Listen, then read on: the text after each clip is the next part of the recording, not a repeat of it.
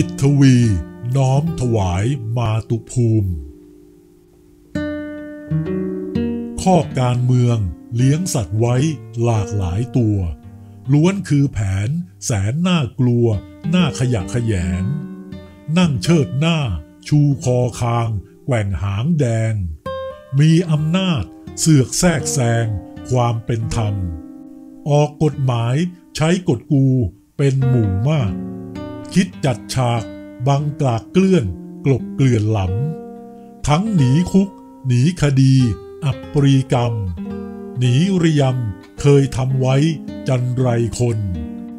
วานเศษตัง กังฉินชาติ เลี้ยงสัตว์โง่ ยั่วยวนยศสักใหญ่โต ช่วยช่อฉน คดีกลบ หลบหนีคุก ซุกเล่กลทำลายผล ยุติธรรม จนบันไลหรือวันนี้พวกขี้โกงยึดครองชาติ หรือผู้คนล้วนขี้ขลาดนอนหลับไหล ปล่อยพวกเลวทำลายชาติ ศาสตร์กษัตริย์ไทย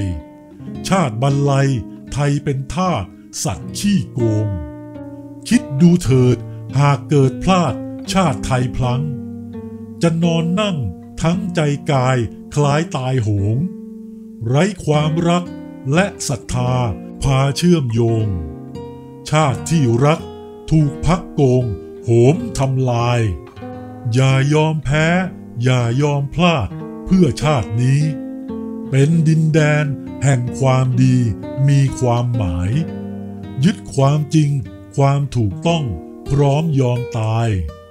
จิตทวีน้อมถวายมาตุภูมิ